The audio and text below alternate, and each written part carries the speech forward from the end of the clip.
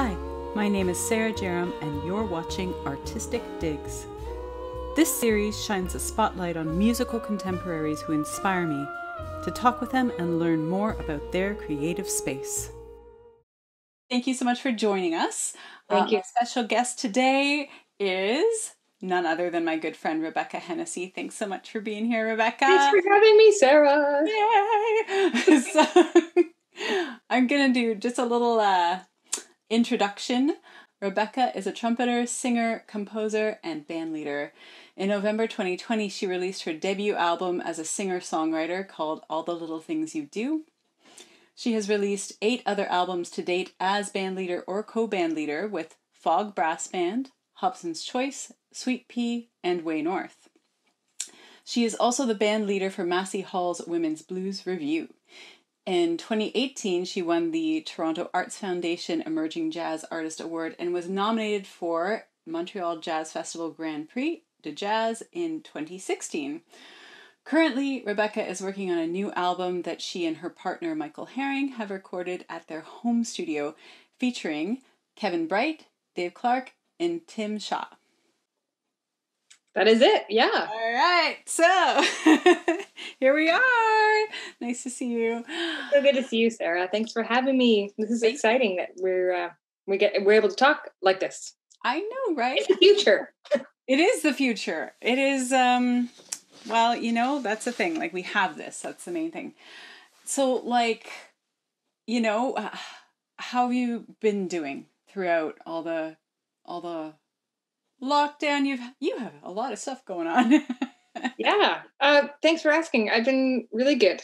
Um, have a new baby. Her name is Nancy, and uh, she's now four months old on Monday. Um, so I got to figure out what she's going to wear for her photo shoot. We do a little photo shoot on the the month um the month birthdays um because it's it's for us you know it's like we can look back in the photos and um yeah the pandemic has been challenging of course and but but um michael and i had well nancy was gestating she was growing inside of me for the whole pandemic since it started basically um uh, but we did decide to have a baby before the pandemic started. So it wasn't like the inspiration uh, of the pandemic to be like, well, let's have a baby. There's nothing else to do. It wasn't like that. And no, no judgment on other people who might maybe have been inspired by the pandemic. But Yep. um, um, we were, you know, ready to have a family, and then uh, and then I was pregnant, and then we were like, "Oh no, this is a ter- terrible time. There's a pandemic, and it's really scary." But then it turns out to be a really great focus point for our lives, and um, and we love Nancy, and we've also been creating a lot of music during this time, and um, you know, doing live shows on uh, Facebook, a Jazz in Toronto Facebook uh, page, uh, once a month, and um, what else has been going on? I mean time goes by so quickly and so slowly at the exact same time. It's so strange. I mean, how have you how have you been? Yeah, uh, I agree on all of that, and I want to hear more about all the stuff that you just talked about. But um, I've been good. I have also been, you know, uh, writing a lot, which Hmm. you know, like I was in the middle of a huge writing project when this um, when lockdown happened, and it was just like this, like, okay, now I have more time. Extension, um, silver lining, but uh, yeah, teaching online. Did my first live stream show last night with Rob, so And that was so great. Uh, yeah, Oh, thanks. So was yours. I uh yeah, yeah, it's been nice to support each other and like uh yeah. Jazz in Toronto is so awesome. it really does feel like we're hanging out. Like it's really cool. Um, I mean, you know, you even gave me a shout out when I like loved. Uh, I said a few things on the like the little chat, and you were like, "Hey, Rebecca," and I really felt like we were hanging out. It was really nice. Oh, yay. Oh, that's nice. Good. well, it did feel that way cuz you know, like it is very strange that's that sudden silence at the end of the tune and you're like Hello? so it's nice to see the chat. Like, you know, is this thing on? yeah, yeah, yeah. This is a mute. No. oh, yes, let's hear more about that. I think I saw something on Instagram about you getting a new practice mute for like Yeah. Yeah, this is this is the old one. Uh, very good as well. It's quieter, but the new one is Ewan Divott's new. Um, he made uh, new practice mutes that are really really great. So check out Ewan Divott. Yay. Okay. Cool. Cool. Um, let's go back to talking about the music that you've been creating during the pandemic. Hmm. Is there anything specific you want to know about it? Uh. Any all?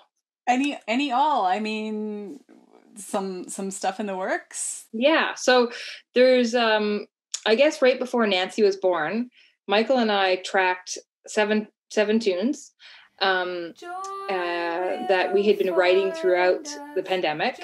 Um, and some of them I actually wrote before the pandemic started, but like they're all recent tunes, they're new, all new. And um, and some of them are co-written with Michael and I, and I co-wrote one of them with my friend Julia Hambleton, who I co-lead a band called Sweet Pea um, with. And um, is it just Michael and I's songs and Julia and some that I just wrote? Um, so yeah, we decided. Okay, we I got um one of those COVID grants to make a digital recording.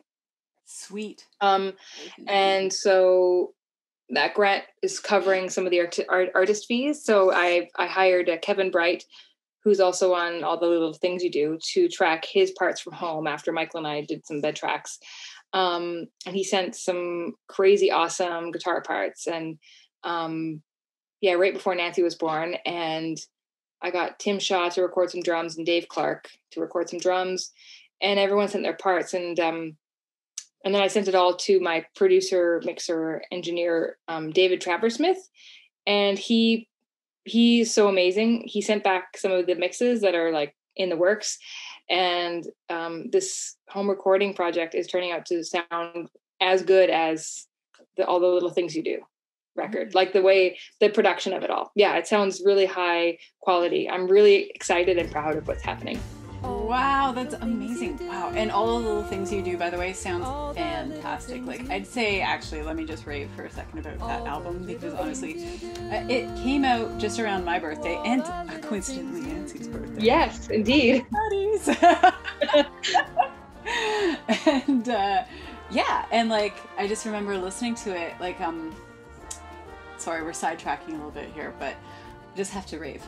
Um, driving to Queenston Park actually. We just like wandered around. It was this beautiful sunny day, the day that Nancy was born, and uh, and we were listening to it, uh, your album on the highway, and, and it's just like all the autumn colors were out, and oh my gosh, the sound is amazing. The songwriting is amazing. The performances are amazing. Yeah, your singing is is phenomenal. It's so I, it's like one of my favorite records, honestly. Like Oh, thanks, Sarah. Yeah, wow. yeah, yeah. Sorry, I have to gush that.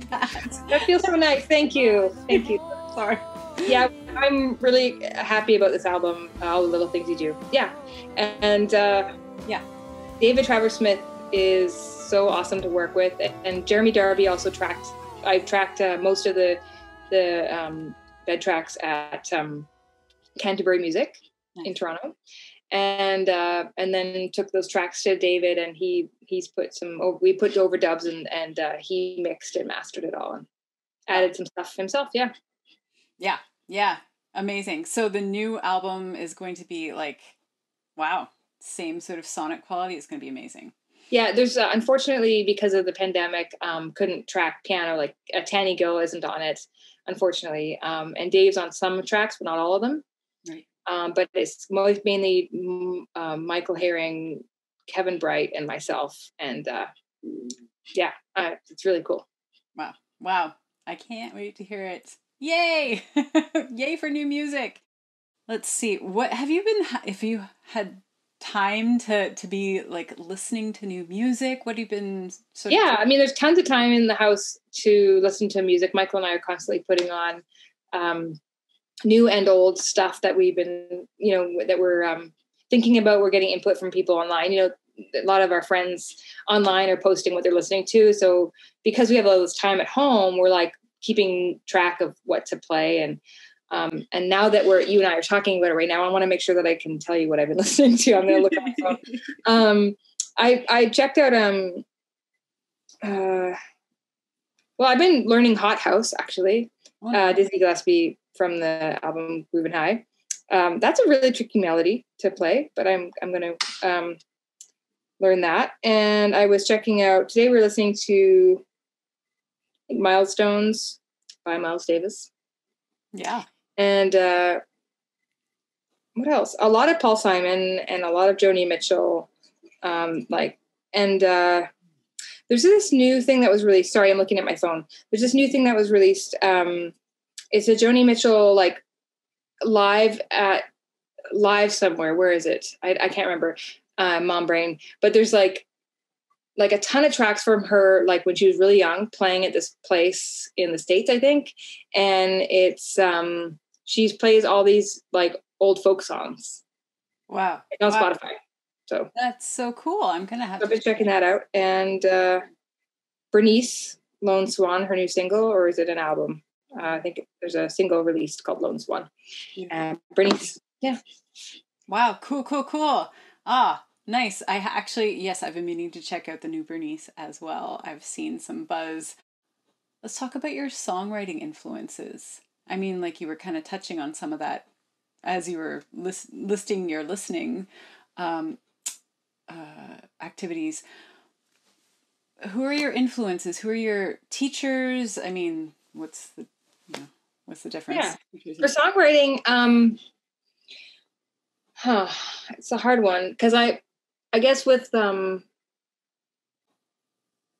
i mentioned already like paul simon and like joni mitchell like songs with lyrics um i've also been inspired by the bands that i write with like when hobson's choice when we, we were doing a lot of playing and writing and recording together i was always being inspired by my my um, musician friends, um, people that I'm in bands with, like Harley Card and like Felicity Williams and Michael Davidson. Like those were some of my like, and then they would bring in their stuff that they liked, like Bruce Cockburn and like again Joni Mitchell and um, oh my god, like just inspired by my colleagues a lot of the time. Um, but specifically, I guess lately I've really been inspired by um, uh, Mavis Staples, and I've been checking out Dinah Washington a bit, um, and Kate Bush.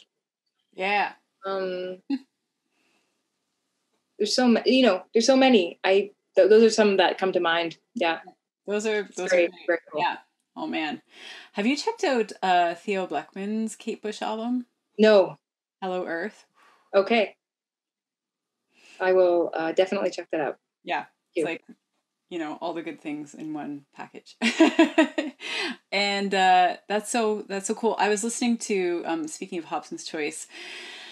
I went down a Rebecca Hennessy rabbit hole today. It was nice. I see you got my, some of my records behind you there. That's so Yeah, sweet. yes, did you notice? Thank you. Yeah, nice little um, backdrop. That's so sweet. Thank you. Yes. Well, you know, um, I I went back because I'm a huge Hobson's Choice fan as well. Oh, thank you. Listening, yeah, listening to Of the Waves and uh, holy smokes, it's just like time. It's timeless to me. Like this, the songwriting, the artistry, everything is so it's so beautiful. It's such a beautiful album. Um, yeah, and then listening to two calls from the Fog Brass Band, right? Mhm. Yeah. So, I would love to talk about instrumental writing hmm and songwriting and the lack of division or, you know, like the choices that we make with those processes. Yeah. Well, that's a really good, like, um, kind of open-ended question because there's so much to dive into. But um, if I sort of just think about it on a surface level in terms of like how I might approach uh, instrumental writing versus lyric writing and like song, like songwriting, songs with lyrics. Um, I think they come from the same space. And for me, often I'm writing at the piano and I'll come up with um, um, harmony and melody almost at the same time in a way. Like I can't not hear um, melody without harmony and vice versa. Like they kind of come together and sometimes i'll be writing like um, a melody line and a bass line at the same time and then i'll fill in the rest depend like kind of willy-nilly uh, as it comes to me. Um, it's an unfolding thing that happens. Um, yeah. So but i guess lyrics can come later. So maybe maybe what i'm doing is actually it can also come first. So all of these i know it's a little bit jumbled here but they can all come at different times and it's really fun when like when they all come together because it feels like there's something happening that i that is i'm just a vessel i know that sounds a little bit cliche but it can feel like inspired and and um there can be some i'm just sort of spitting it out and it very rarely happens like that but in the moments that it does i feel so um on tingly and excited and like there's something happening here and I don't know. Yeah. I yeah. don't know if you've experienced that. Uh, yeah, I mean, those are like the good moments, and they're the ones. Yeah. That... and then there's like thousands of just like banging your head against the wall, like, what is this that I'm trying to do? And then maybe at the end, you're like, yeah, it's cool. And then the musicians that you play you play it with make it feel delicious or you know complete or whatever. Totally, totally. I know, right? But those are the moments. Like that's that's the pot of gold you know? Yeah. Wow, that's so cool. Yeah, and I agree with you. Like it comes in bits and pieces sometimes for me as well. And like it's like there's a puzzle kind of Totally. Yeah. You're just trying to get the edges, like melody and bass, and fill in the middle. I, I like that analogy. it's really great. And puzzle. I've not heard that analogy before. That's cool. Nice. Yeah. But uh, yeah, you know, and sometimes here's my piano right here. I'm just going to show you. I'm going to pretend like I'm writing. This is just a fun, fun thing. Okay, here we go. Nice. I'm just going to be like, oh, I like that sound. I'm like not looking, and I'm not very good at not looking in the piano. I can find things that I like just by spreading my hands apart, and then like I could be like, oh, I like that sound, and I can take that sound and make. Uh, I think a lot in color and shapes, and then go from there. Beauty. Wow. Um, like Dave Clark has sent me lyrics and some of these some of the tracks from all the little things you do are written by Dave Clark and I because he sent me lyrics and I wrote melody to them. And actually I think you probably I don't know if you experience this, but like writing um, music with poetry, it can actually alleviate some of the workload of write songwriting because you can almost see that there could be a melody based on what words you see. Like I, I don't know. For me, it, the words can really inform melody line and uh, and harmony even too. Absolutely, one hundred percent. I mean, like, have you ever? um I don't know. I forget where I saw this or where I learned this, but Cole Porter, when he would write, you know, um, he would use text first. So um, it was just one of those things and he would just repeat the words it was just one of those things it was just one of those things. It was just one of those things. And and eventually that would start to become pitch you know like you can hear the oh. inflection right? Cool. It was just one of those things. It was so anyway um that's kind of uh like one way that i don't know sometimes text can help but then in other ways it goes in a completely opposite direction and you can as you know the sky's the limit so. It's true. It's really exciting. I hope what i said made made sense but i, I hope what i said makes sense. It does. It does. Uh, we're making sense. High five. Uh, yeah. Cool.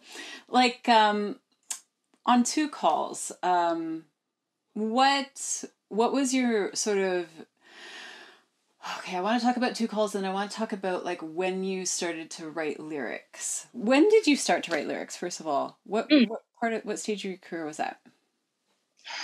With Hobson's Choice, I started to write lyrics for yeah, I had um I had only written a few songs when Hobson's Choice formed.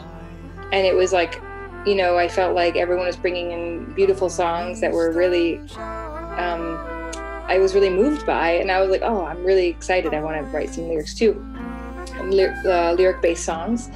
And so I did write some some songs initially um, for Hobson's Choice, and that was sort of the beginning of my songwriting. But I did take a pause for a while. Like I didn't write very many songs with lyrics for a few years, mm. um, and then songwriting started to become songwriting, as in songs with lyrics, started to become more of a thing. I started to do. Um, when was that?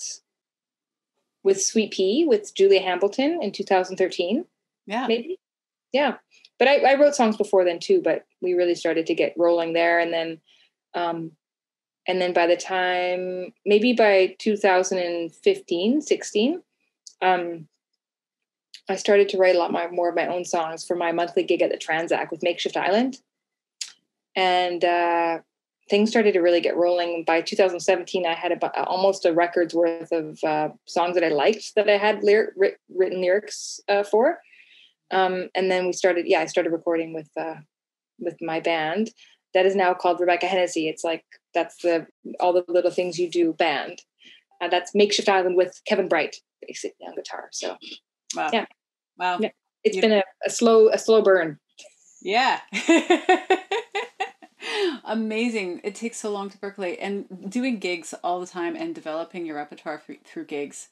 Mean like that's it. That's having a gig is so important. Having a gig, yeah. So let's get back to that ASAP, please. yeah. Yeah. So, um, Oh, but I want to add something. Oh, I yeah. just realized, um, you know, two calls. The the way um, there was some some melodies that are really inspired on two calls that are inspired by nature. Um, particularly the song two calls uh, was written um, inspired by a recording that I made when Michael and I were in Panama. We were doing the Panama Jazz Festival in 2016, maybe. I think. Wait,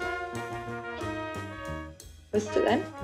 16, I think so. Yeah, and uh, we were in Panama jungle hiking one day, and uh, I heard these two bird calls, and they were kind of it, they were kind of um, overlapping, and I took out my phone and recorded them, and and then listened to them when I got home, and I um, I transcribed the bird calls and became inspired to write a song called Two Calls. So they're two calls. They're actually two bird calls. Yeah. That's beautiful. You can hear that. One of the song, one of the one of the melodies is. Uh,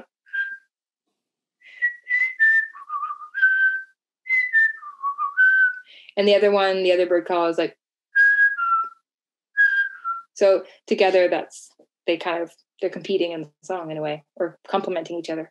Oh, beautiful. Did you ever find out what what kind of birds they were? Nope. Mm. Nope. Kind of nice to have that mystery. I wonder though, like there's a the Cornell ornithology website has a whole bunch of yeah, you know. so good. so good. I'm obsessed with birds. Oh, me too! Yay! Nice. Do you know how to identify some birds? Uh, getting there. Um, uh, let's see if I can whistle you one. Hold on uh,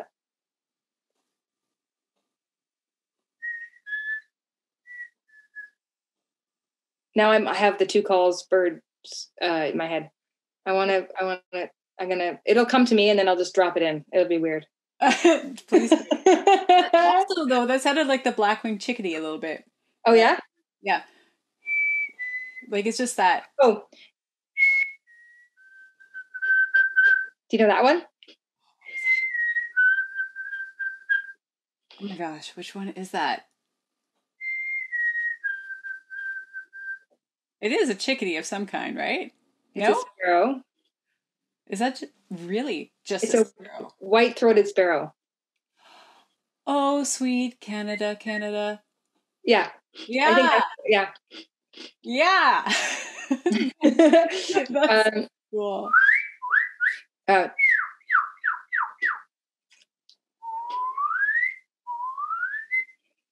Is that a starling? It's a red cardinal. Oh. But I'm such a nerd because I really like learning the bird calls. You're really good at doing them too. That's because I'm always like trying to get them to uh to call back. Yeah. wow. Do you ever get that? Do you get like in conversation? No, I don't think so. No. It's the dream, isn't it? It would be amazing. Yeah. I wonder too. Like uh, I've been hearing a lot of birds in the in the neighborhood recently, and I've been thinking about like how there's a, a parting of birds in the fall, and then there's greetings probably of migratory birds coming back into our area, and little conversation. This is my imagination. Little conversations of greeting happening around this time, or or other things. probably more. Yes. like anyway, um, birds, yay. So, okay, do you have anything coming up? Any live stream shows? Um, anything you want to? Yeah, I'm gonna again look at my phone because, um, again, mom brain. On the um, the March, yeah, March 27th, we're doing the um the online show with Jazz in Toronto Facebook page, Right. and um, it's with Michael and I um, at 5 p.m. Pacific Standard Time. Nice. Pacific We're Standard Time Pacific. or East Eastern? Wait, are we Eastern? Wait, oh my goodness. I usually write P. I do that for my um, BC family. I'll say Pacific Standard Time. Thank you. Yeah. Uh, okay. Eastern. 5 p.m. EST, Yeah. March 27th on Jazz in Toronto. That's so cool. Yeah, and that would be a Saturday night at five. Yeah. Wow. I love how you play so many instruments on these live streams. Like you're you're on the accordion, you're playing your trumpet, you're singing, you're playing piano. It's it's wow. Thanks. Yeah, I started playing the accordion um because I bought my first accordion at your wedding I remember that. in 2013, right? 11. 11? Yeah. Why did I think 13? Anyways, uh, 11. And uh, in Jordan, there was a little flea market, and I paid 130 bucks for my first accordion with gold keys. Wow. Is that still around? No, I traded it in for a um, a lighter mm, um, accordion that has the musette sound. Beautiful. But I wish I still had it actually, Oh yeah? Yeah. Because it wasn't that much of like it wasn't a huge investment. It was like I tra- I put it towards my new accordion, but I kind of now because I'm actually uh, I play accordion a lot. I I deserve that accordion too. Like I thought I wasn't sure how much I would do, but I just kept going with it. So Right. I think it's just one of those things. You just regret selling that one piece of gear. I don't know. Maybe it'll come back to you. Who knows? You Maybe. know. These things happen. But yeah, I um there's yeah, that's the next show. Um and this new album that I- I'm pretty sure we're gonna call it Joy Will Find Us. Um, that's what we're gonna call it. Um, and I say we because Michael and I recorded it and he he's a co-writer on the album as well, but it's gonna be released under my name. And um yeah, Joy Will Find Us. I'm really excited about it. And yeah. Mm, I'm so excited too. Is there a website that uh, people could stay tuned to? My website, RebeccaHennessy.com. Yay, cool. Awesome, awesome. Just a little side question. Uh, on your January live stream, there were a couple of new songs that you debuted. I think it was debut. One was called Oh, there's some new ones on there that we would have uh, that are definitely newish that are on the record. Nice. Yeah, I remember the Dandelions was really, really. That's it. It's Yeah. Thank you. Yay! I can't wait to hear it. Thank you.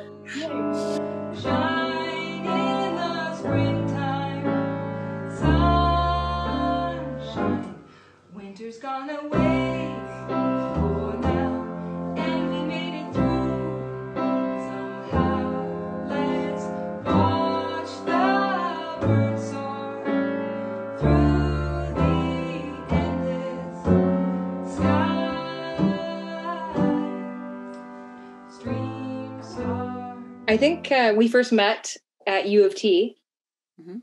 right? In 2000 and well, I got to U of T in 2003. yeah. 2003. Wait, 2002, 2003, 2003, and I graduated in 2006. When did you graduate? I graduated 2005. So I think that's that sounds right to me. I think Yeah. when I was in third year. and we were we were like we kind of hit it off pretty quick and i just remember always laughing uh us having a great time and we still do i mean and then you had me on your album and i think it was one of my first like first asks somebody asked me to be on the record and i just remember feeling so excited and thrilled that somebody like yourself would ask me, and I was just like honored. And it was such a fun day. We had such a good time, and we were so silly after. And I don't know, we always bring it up, but I just I loved our car ride home. We were so out of it. It was so funny. we were really loopy. There was some good, uh, yeah, some good inside jokes that day. And I also found recently these pictures from the recording session, and there's like a picture of of us recording Dusty Nugget. Uh, Oh, so Allison and Joel, and and we're obviously like totally like playing it up, like acting, you know, professional, very Very professional. professional. We were having a good time, letting off some steam. It was so good. Yes, exactly. So I'm really glad that we uh, ended up um, meeting at U of T and main like maintaining our friendship and playing gigs together. And Yeah. mostly, I just I really cherish our friendship. So thanks for having me on your on your show. And um, I'm really excited also to hear your new record, Oh, thank you. Free Magic. like- Oh, thank you. Yeah, I feel like you've really like been an inspiration to me, like throughout, oh. you know, all our careers, and yeah, our friendship I very much value as well. Like it's been, it's been almost twenty years. Hey, What? No, not 20. No, not 20. 15? Great. I don't know. Yeah. A long, it's been a while. been a and it's been, it's been good. it's been great. 20 years? No, really? How long have I been in Toronto? It's coming up on, oh my God, Sarah, that freaks me out. you know, I, I love it. I know I look horrified, but I just, time is weird. time is weird. I know, but it's good to mark these things. Just be like, whoo, here we are. Yes. almost almost 20 years later ish but um, yeah well thanks so much for joining me today it was really really great to have you on and uh, to see you virtually You too, Sarah. It's so lovely to see you. And thanks for interviewing me. Yeah, my pleasure Yeah.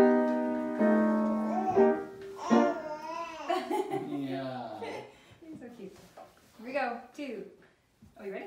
Two, three, four. Sometimes the rain falls hard and